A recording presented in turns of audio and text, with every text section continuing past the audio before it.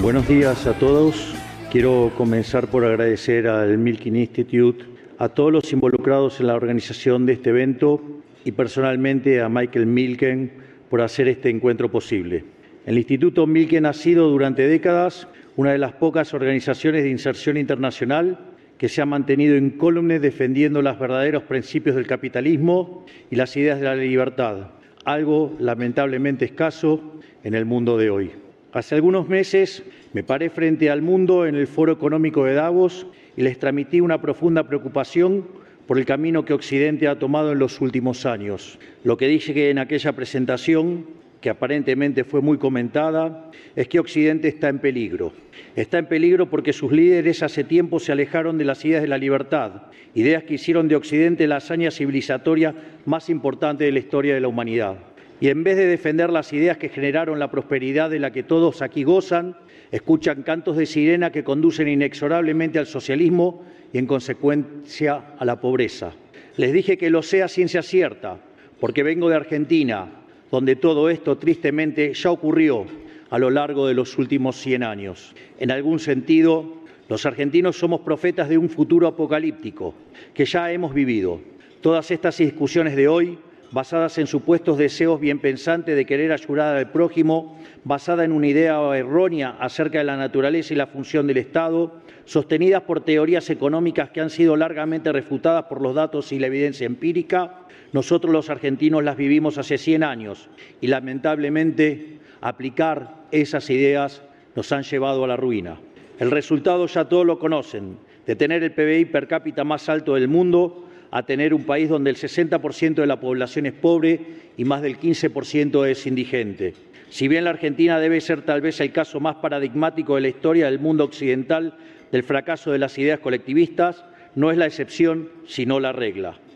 Siempre que se ha intentado el socialismo ha sido un fracaso en lo económico, un fracaso en lo social, un fracaso en lo cultural y además, como es una filosofía que va en contra de la naturaleza humana, no han tenido otro mecanismo para implementarlo que asesinar a 150 millones de seres humanos. Pero hoy no vengo aquí a la meca del capitalismo a hacer una crítica al socialismo, sino que vengo a hacer una defensa del capitalismo frente a ustedes, que son los verdaderos héroes de la historia del progreso occidental. Si bien hoy está sujeto a una crítica corriente, defender el modelo de la libertad realmente no es difícil, porque la relación directa entre la aplicación del capitalismo de libre mercado y la explosión de prosperidad que la humanidad ha vivido en los últimos años, 250 años, es muy fácil de demostrar.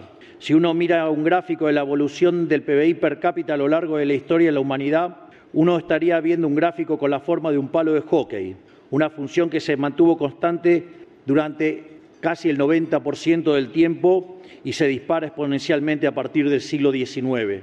O sea que desde el año cero hasta el año 1800 aproximadamente el PBI per cápita del mundo prácticamente se mantuvo constante, pero a partir del siglo XIX y a raíz de la revolución industrial, el PBI per cápita no solo aumentó, sino que lo hizo de forma exponencial. Es más, en los últimos 150 años se multiplicó por 15 y generando una explosión de riqueza que sacó de la pobreza al 90% de la población del mundo, llegando al punto de que para el año 2020 solo el 5% de la población global vivía en la pobreza extrema. Lejos de ser la causa de nuestros problemas, el capitalismo de libre empresa como sistema económico es la mejor herramienta que como especie hemos conocido para terminar con el hambre, la pobreza y la indigencia a lo largo y a lo ancho de todo el planeta. Pero si bien el éxito del capitalismo es fácil de demostrar, lo que no es tan accesible para muchos es el contrafáctico, a dónde conduce la adopción sistemática de un modelo colectivista, incluso dentro de las reglas laxas del capitalismo. Como dije antes, tal vez el mejor ejemplo sea el ejemplo argentino.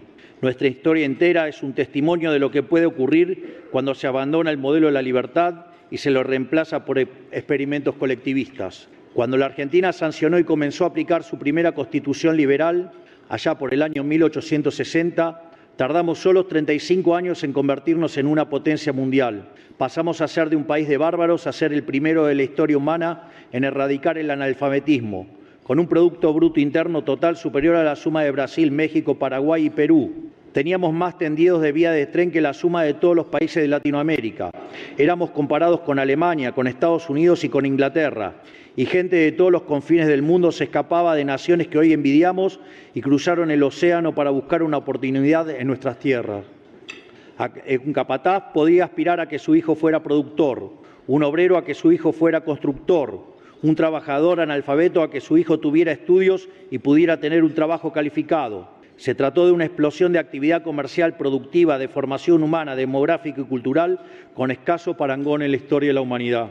Pero en el pico de este proceso, bajo la premisa bien pensante de querer distribuir entre todos la riqueza producida, la dirigencia argentina comenzó a aplicar la mal llamada doctrina de la justicia social, que concibe que el Estado tiene que hacerse cargo de las infinitas necesidades de la gente. Una teoría que se pelea con la realidad porque, nos guste o no, las demandas son infinitas, pero los recursos siempre son finitos. Producto de esta forma de entender la relación entre el Estado y la economía, se aumentó el gasto público de manera brutal. Para financiar esa expansión del gasto, primero asfixiaron a los argentinos con impuestos. Cuando estos no alcanzaron, empezaron a quemar stock de reservas acumulados en nuestros años dorados. Cuando esto no alcanzó, empezaron a tomar deuda. Y cuando ya nadie nos quería prestar porque nos habíamos convertido en el máximo defolteador serial, comenzaron a imprimir dinero de manera ilimitada. Para que tengan dimensión de qué estamos hablando, desde 1949 la base monetaria en Estados Unidos se multiplicó 16 veces, mientras que en Argentina se multiplicó la astronómica cifra de 25 mil trillones de veces. No, no está mal el dato. Sí, es un número real. No lo estoy inventando. Lo repito, la base monetaria se expandió 25 mil trillones de veces. Eso es el nivel de descalabro que pueden producir los políticos si les permite desviarse de los principios básicos de la economía de mercado. Y este ciclo no lo vimos una vez, sino una decena de veces. Se rompieron una y otra vez todas las reglas básicas de la economía para sostener el afán de los políticos de gastar lo que no tenemos y como resultado natural de estas medidas vimos cómo nuestros ciudadanos comenzaron a empobrecerse sistemáticamente hasta caer al puesto 140 del, del mundo en el ranking del PBI per cápita, habiendo llegado a multiplicar la pobreza por más de 10 veces en los últimos 50 años. Por 100 años repetimos este patrón tóxico amantanando experimentos colectivistas sobre experimentos colectivistas y llegamos al año pasado a uno de los pisos más profundos de este ciclo, cuando asumimos el gobierno y encontramos una situación tan crítica que, de continuar todo como estaba, la economía se encaminaba a una hiperinflación que por lo menos hubiera dejado una hiperinflación del 15.000%.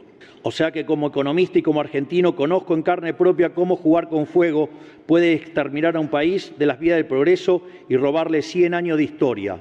Por eso, hace algunos meses en Davos, me pregunté ¿Cómo puede ser que desde la academia, los organismos internacionales, la política y la teoría económica se demonice un sistema económico que ha sacado de la pobreza más extrema al 90% de la población mundial?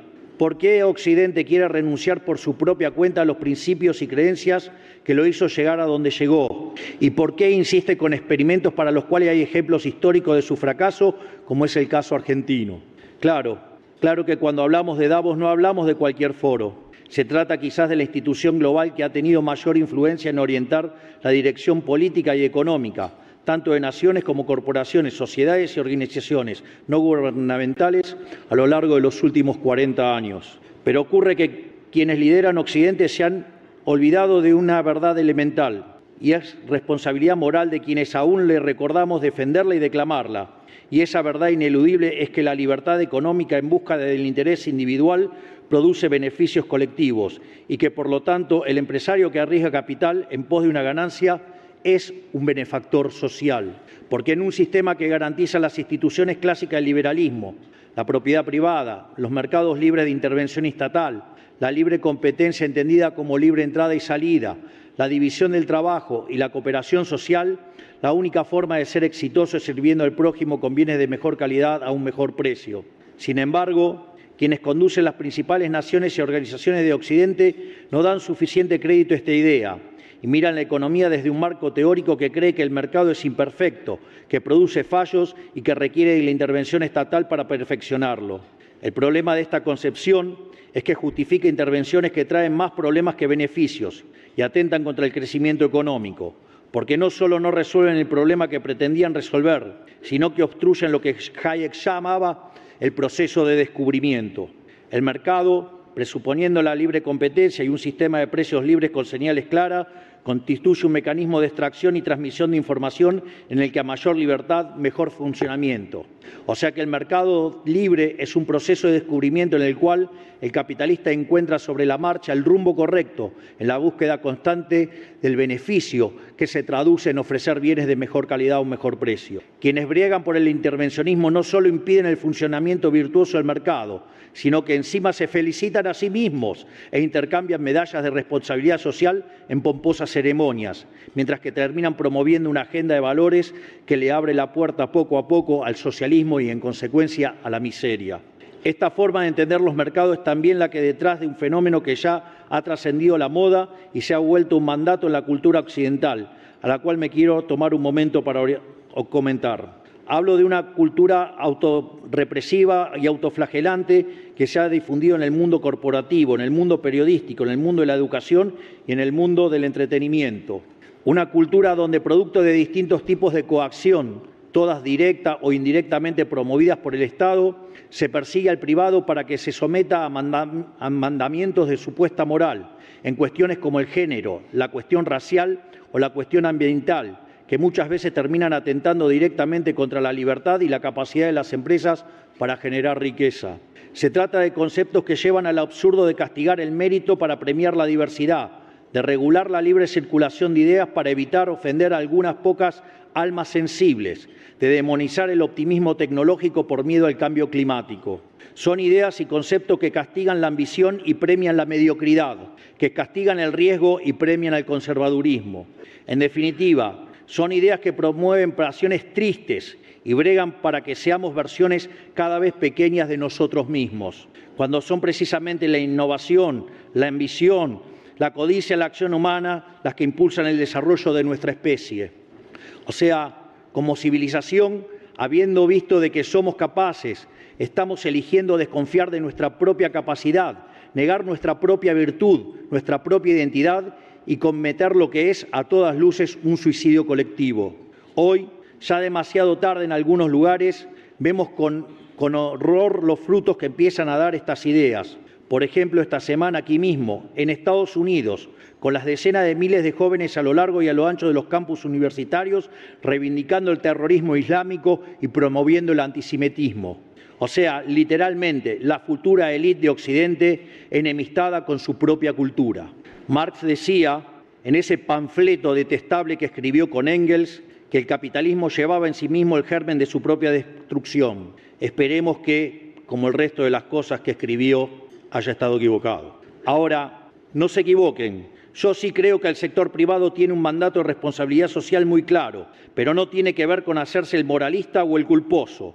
La verdadera responsabilidad social del empresario es un efecto natural del funcionamiento libre de su propia actividad económica el mandato de producir bienes y servicios de mejor calidad, mejor precio, ligado a la maximización de los beneficios.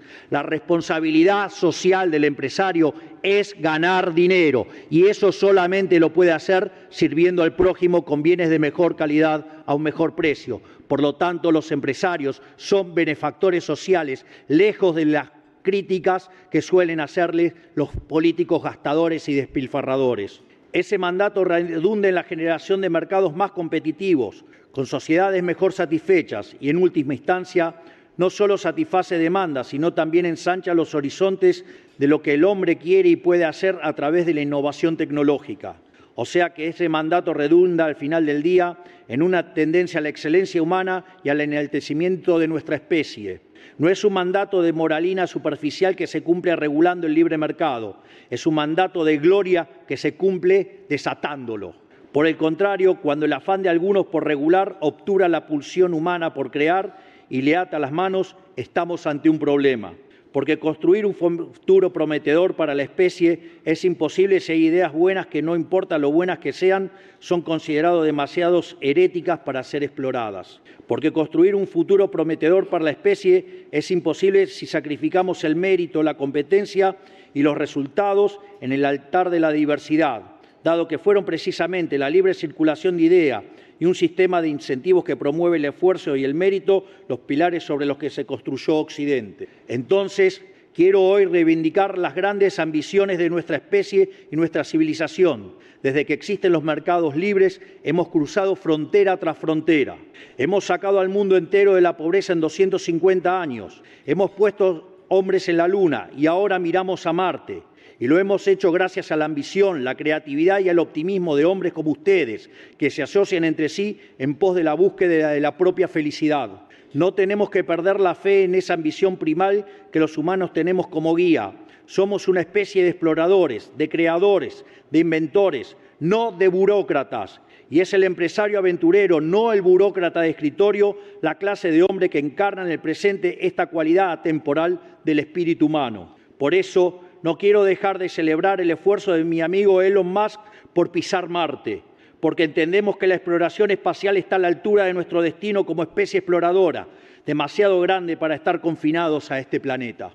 Tenemos la obligación moral de proteger los pilares que hicieron posible todo este edificio de ambiciones, logros y sueños. Esos pilares sobre los que está edificada la historia del progreso humano son la defensa de la vida, de la libertad y de la propiedad. Si los olvidamos o los damos por sentados, corremos el riesgo de perderlo todo. Miro a la Argentina con todos los cambios que estamos emprendiendo y veo que estamos a contramano del mundo, porque mientras que en el resto del mundo las ideas de la libertad están bajo asedio, en la Argentina se erige una fe renovada en ellas. Mientras Occidente gira hacia el control y hacia la imposición, la Argentina gira hacia la confianza en sus ciudadanos en el ejercicio de su libertad.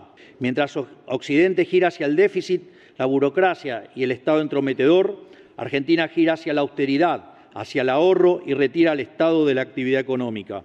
Mientras Occidente gira hacia el chamanismo económico y hacia formatos insostenibles de heterodoxia que ponen en peligro el futuro de todos, la Argentina vuelve al sendero de la razón, a las ideas del sentido común.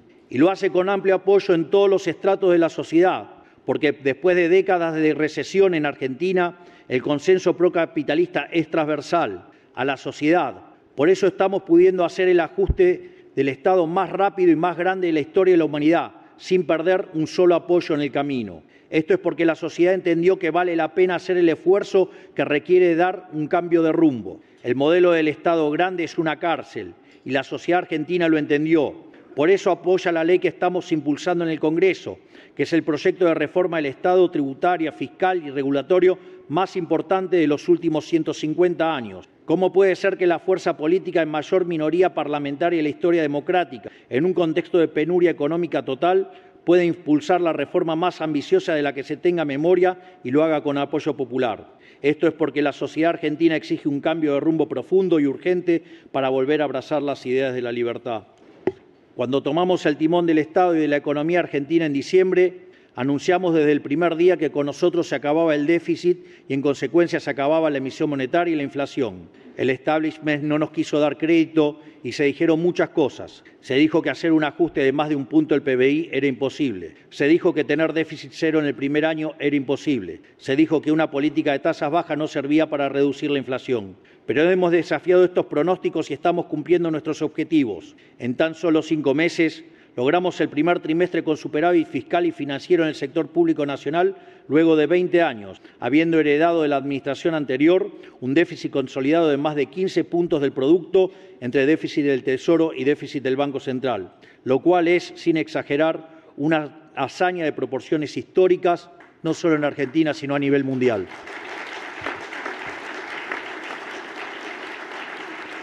Bajamos drásticamente el gasto público reduciendo en un 76% las transferencias discrecionales a los estados provinciales. Ajustamos en un 87% la obra pública. Eliminamos el 50% de los cargos políticos, cerrando organismos innecesarios y eliminando sobre todas las cosas la pauta publicitaria, motivo por el cual escucharán hablar a un grupejo de periodistas hablar peste de nuestro gobierno, básicamente porque le tocamos el órgano más sensible del cuerpo el bolsillo. Frenamos en seco el financiamiento del Tesoro con emisión monetaria y producto del ancla fiscal y monetaria, la inflación empezó a bajar y sigue bajando semana a semana desde hace cuatro meses. En simultáneo, llevamos adelante una política de baja sistemática de tasas sin que el tipo de cambio ni la inflación se dispare, lo cual todo el establishment juraba que era imposible. Y todo esto lo hemos hecho con toda la política, la mayoría del periodismo y una buena parte del poder económico prebendario en contra, y sin los recursos jurídicos que le solicitamos al Congreso y con los que todos los presidentes de los últimos años han contado, lo cual es esperable en parte porque cada partida presupuestaria que recortamos hay un privilegio o negocio que le estamos quitando a algún político o algún amigo del poder. Pero así aún ante semejante adversidad, estamos cumpliendo con los resultados y los resultados se están acompañando. Todavía queda mucho trabajo por delante, pero tenemos un rumbo en el cual la mayoría de los argentinos confían y un plan para lograrlo. Tenemos por norte achicar el Estado para agrandar a la sociedad, teniendo un gasto público consolidado del 25% del PBI, 10 puntos menos que el de los Estados Unidos y la mitad del de Francia para tener punto de comparación. Tenemos por norte devolverles a los argentinos cada peso que ahorremos, primero eliminando la inflación y luego, el día de mañana, reduciendo los impuestos como consecuencia del crecimiento económico. Y tenemos por norte desarmar la maraña de regulaciones en la que se ha convertido la Argentina para liberar la actividad económica y desatar su fuerza productiva. Por eso, hemos sancionado una orden ejecutiva donde derogamos más de 350 leyes. Por eso estamos impulsando una ley que contiene reformas en el plano fiscal, laboral, previsional y tributario, incluyendo un régimen de promoción inédito para las grandes inversiones. En total, entre ambos instrumentos habremos introducido cerca de 700 reformas estructurales en los primeros cinco meses del Gobierno, un programa de reformas siete veces más grande que la reforma del Estado impulsada por el presidente Carlos Menem a principios de los 90, el último gran proyecto liberal que tuvo la Argentina. En otras palabras, estamos haciendo realidad el programa reformista más ambicioso de los últimos 150 años, porque la única manera de sacar el 60% de los argentinos de la pobreza es con crecimiento económico y solo hay crecimiento económico con libertad. No hay otra manera. Para nosotros, la única tarea del Estado es proteger la vida, la libertad y la propiedad de los argentinos, para que cada uno pueda ser arquitecto de su propio destino. Esta es nuestra visión. Es una visión parecida a la que sostuvieron todos los países prósperos de Occidente en los momentos grandes de su historia. La tarea del Estado no es poner plata inventada en el bolsillo de la gente, sino asegurar las condiciones macroeconómicas y jurídicas para que el sector privado pueda desarrollarse por su cuenta. Un Estado que vela por la vida, la libertad y la propiedad de los individuos, y un sector privado pujante que arriesga, apuesta por el país y genera riqueza. Nosotros establecemos las bases, el sector privado se encarga del resto. Por eso, a esta presentación de quiénes somos y qué queremos para nuestro país que le he traído hoy, les quiero, agradecer les quiero agregar una invitación, tanto a todos ustedes como también a sus pares del mundo y de la Argentina.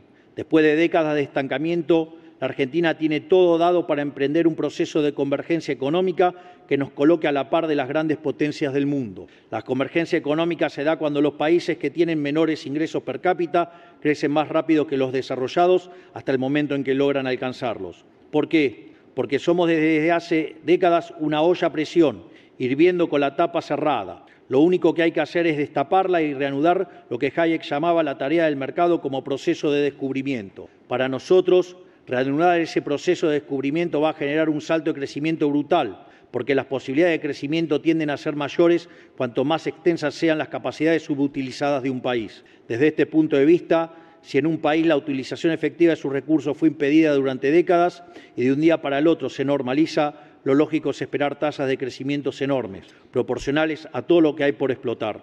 Por eso la baja capitalización de la economía, fruto de 20 años de un populismo empecinado en destruir el capital, va a generar oportunidades de inversión enormes para aquellos que apuesten por el país. Por lo tanto, Argentina no solo podría mostrar altas tasas de crecimiento como consecuencia de las oportunidades por descubrir dado su bajo nivel de desarrollo, sino que además, ante la brutal destrucción de capital ocurrida en el pasado, eso daría un enorme retorno con solo poner en marcha las ideas y proyectos ya descubiertos, pero entorpecidos por capas de regulación innecesaria.